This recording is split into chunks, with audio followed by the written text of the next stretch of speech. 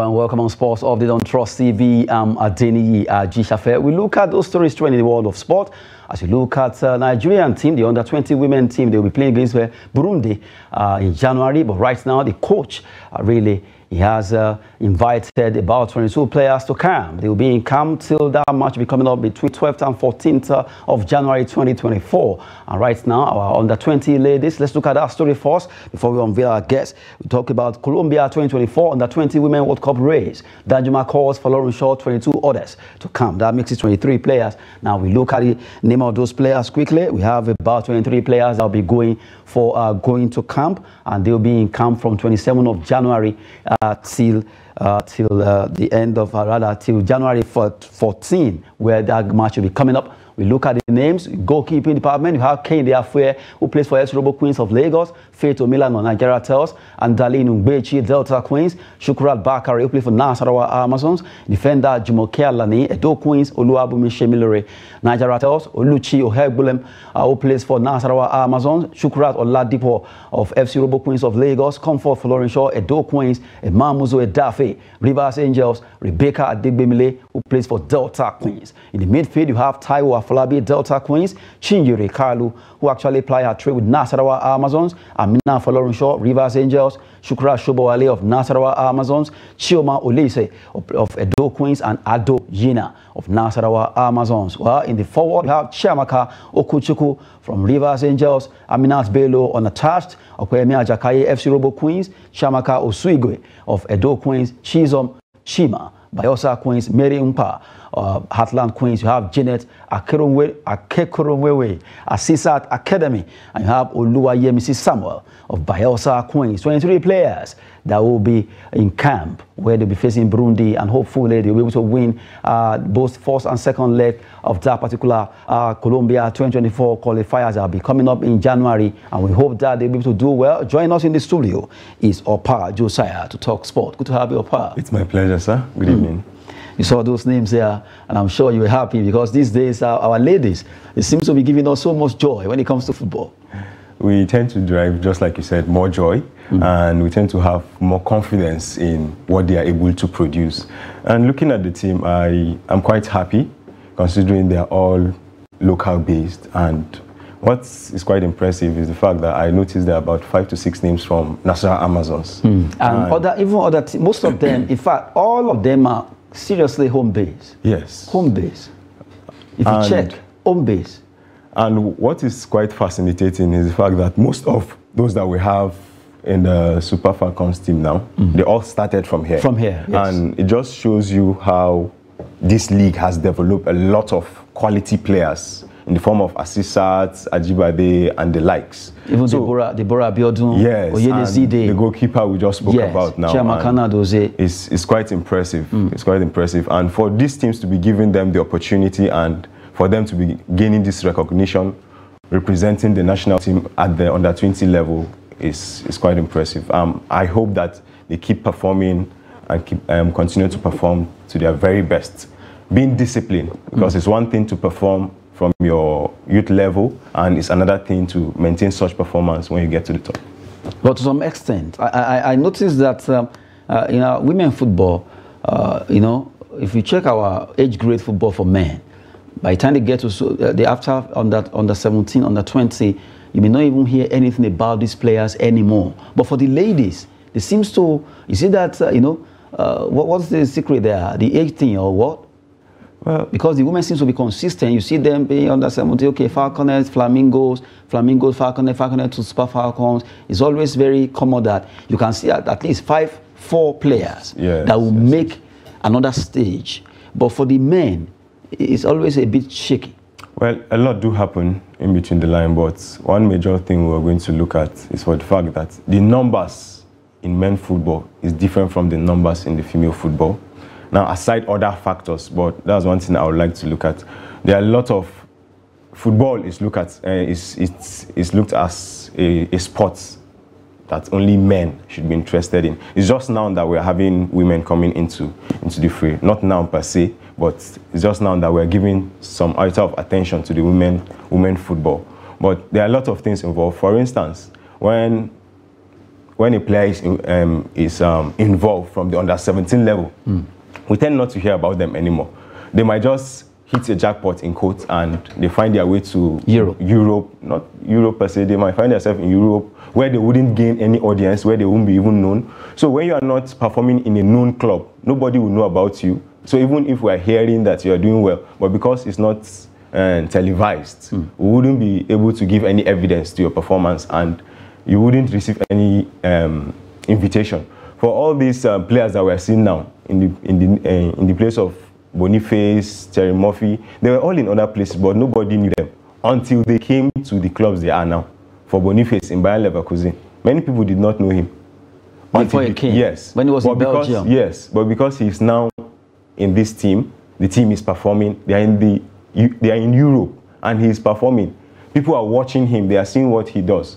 So that's, I think that's one of the major reasons many don't get called up. But for the women team, because they are all groomed here, mm. they, they tend to gain consistency in growing from one level to another, from under 17, under 20. We just have a few players that that's on the aspect of the men football that uh, moved from one level to another. Mm. And there are those that even if they moved, they will just ghost.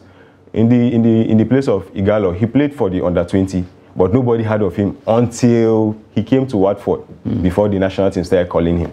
So it's it's just it's just as it is. But I just hope that the men will continue to to work hard, and at the end there will be a reward for their dedication and discipline. Mm. Well, we've been talking concerning our team, the under 20 team. They will be playing against Burundi. Uh, in the qualifier for Colombia 2024. That will be in January, but right now they'll be in camp, 23 of them. That was just uh, showcase their and really, we hope our ladies will do us proud by the time that particular game will be played uh, from the 12th to 14th, uh, first leg, and all the second leg coming up. They'll be playing Abuja for the second leg. We wish our ladies the best. After all, they always give us so much joy when it comes to uh, football. Right now, we move away from Nigerian team. Let's quickly talk about uh, a match that'll be coming up uh, tonight between Crystal Palace versus Brighton. Premier League, Premier League, Crystal Palace Brighton. A big, a, a, that match is coming up. Uh, well, from this game, who are you staying with, George? It's, it's actually difficult to pick from these two teams. Considering Crystal Palace will want to bounce back from a very poor run of games. They've gone six games without a win. They've lost three out of they've, they've lost four out of the last six. So I'm hoping that they will fight for the win today, considering they're at home. And for Brighton, um, they've really had a shaky defense. They have one of the worst defense in the league this season. So I'm hoping that Crystal Palace will put up a fight, but Brighton are really tough not to crack.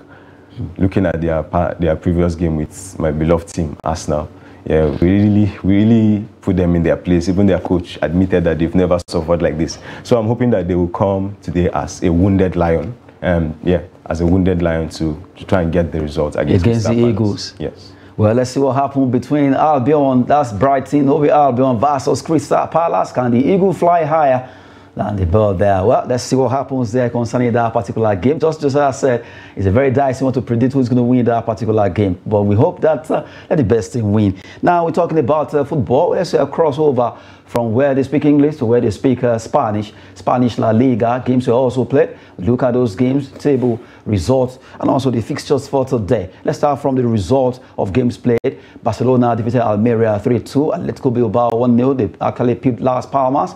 Celta Vigo against uh, Villarreal and they're 3-2 at the Vicente Calderon there. Big one there. Well, looking at those games, a lot of goals, uh, five goal thriller coming from Barcelona against Almeria, Villarreal against uh, Celta Vigo. Are you expecting so much goals?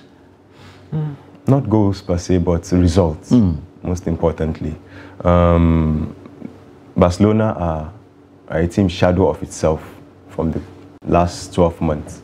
Considering their position last season and now, aside the position, but in terms of defending, you know, last season at this point, they've not considered so much goals like this. The entirety of last season, they only considered, I think, 20 goals in the league.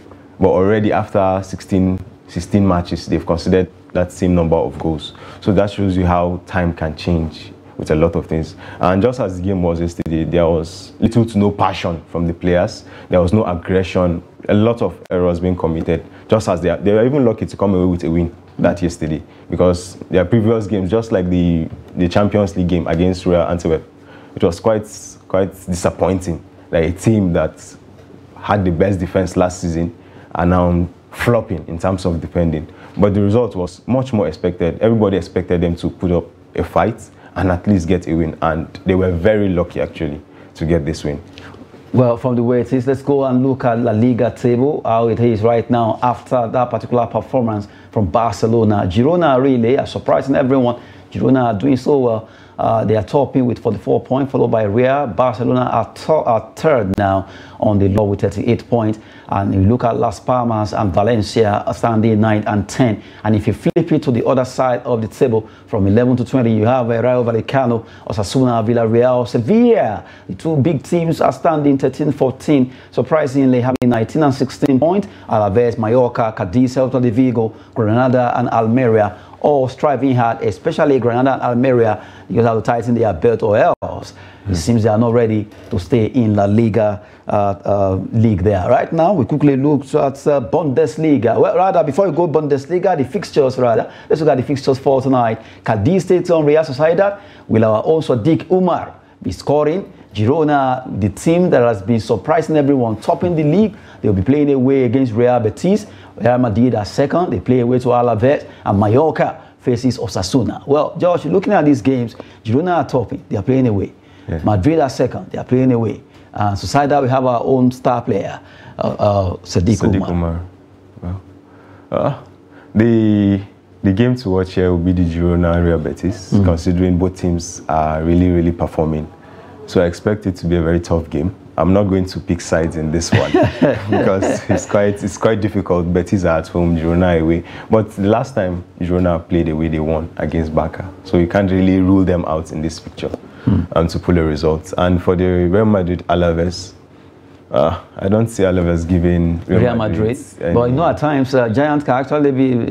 yes, but with the momentum Real Madrid are really flying on. They are on fire, yes, really. Yes. Uh, especially with Jude Bellingham, all of these players. And what is quite amazing is for the fact that they've had crucial amounts of players on injury. Still, and for them, they're still move on. It's a system, and mm. that shows you the depth that they in, have. In quality that they have. Well, talking about uh, La Liga there right now, giving you an uh, update concerning those fixtures coming up uh, tonight over there in La Liga. Right now, we cross over to Germany. Let's quickly look at matches that were also played, games were played. But before looking at result, we talk about someone, Harry Kane. Kane scores, breaks record as Bayern P. Wolfsburg. He has only played 11 matches. He has scored 17 goals the first man to do that in uh, German Bundesliga. What a man. Uh, looking at this man, he seems to be scoring goals left and right. In fact, when he's sleeping, he's scoring goals. I, I remember when he burst into the mm. 2014-15 season. Being an Arsenal fan, he's in the Tottenham team. But I really admire him. I really, really do. He's one of my top, top striker. And it's quite impressive how he has been able to maintain this level of consistency. So it's not surprising seeing him doing this in the Bundesliga, considering, considering the level of um, competition in the mm. Premier League. So him coming to do it here is, is really, really amazing. I'm happy for him. And he's on 20 goals already in 15 mm. games. So he beat the previous record by Lewandowski, who set 20 goals mark um, at the end of 15, uh, match day 15. So it's, it's really, really amazing. And I hope he maintains this same, this same pace. Let's see if somebody will break the 50 goal mark by Lionel Messi.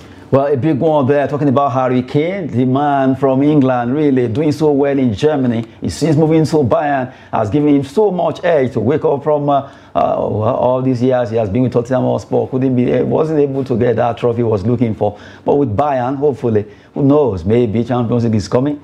Who knows, maybe German Bundesliga is also coming. Anything can happen. But really, he's scoring a lot of goals, 17 goals so far in just Bayern uh, Bundesliga alone in 11 matches. That's a record there. Now let's look at the result and also the table as he actually went down uh, over there in German Bundesliga. Union Berlin 2, Cologne nil. We have a Freiburg against uh, Heidenheim against uh, that game ended 3-2. Leverkusen, the team where our own Victor Boniface really scoring goals to 4-0 against VFL Bochum 1848, Eintracht Frankfurt 2, Mönchengladbach 1, Stuttgart 3, Augsburg nil. You have Augsburg 1 and Bayern Munich. They were able to win. That was where Harry Kane was able to bang in the goals there. Well, good one. But uh, Bayer Leverkusen, now let's look at the table. Uh, after uh, you look at Bayer Leverkusen, surprisingly, uh, Xabi Alonso has been able to turn that team to another another team, 42 points ahead of Bayern Munich, who are behind them with at least from the way it is, four extra points. Yeah. Aren't you game, surprised? With a game at hand. Aha. Yeah. Um, I'm actually yearning to see Bayern Leverkusen pull off this. But at the same time, I will feel for Hurricane.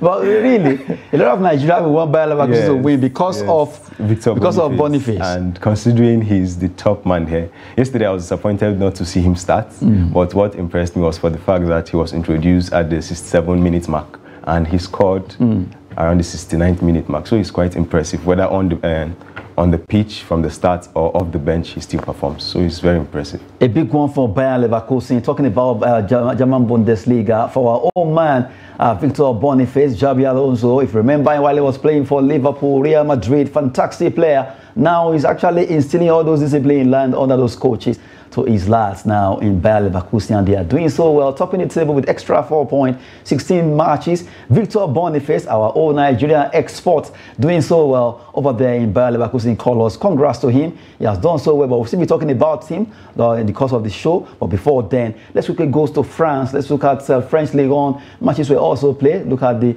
fixtures, rather results. Well, for uh, the man who scored on his birthday, PSG man, talking about Kylian Mbappe, 3-1. He was able to score on his birthday. Congrats to him. For Brest, 4-0 against Lorient. Clermont 1, Reims 3. We have Lyon peeping, uh, the peeped the Nantes, uh, Moses Simon's team, 1-0. Montpellier 1, they play 1 draw against Marseille, OGC Nice 2, Lens 1, PSG 3, Metz 1, and you have Kylian Mbappe on his birthday scoring uh, there. Reims 1, Lille and Strasbourg were able to defeat Lille, while Monaco play away and they won 2-1 against Toulouse. Looking at this result, fine to the, the way the table is right now in the French League 1. Let's look at how the table is. PSG are back to the top. They are doing so well. 40 points uh, they have over, uh, ahead of OGC Nice, Monaco, Brest, Lille, Marseille, Lens in that pecking order. If you look at from 11 to 20, you look at uh, uh, the likes of Clermont down the table with just 11 points, Lorient with 12, Toulouse with 14. Surprisingly,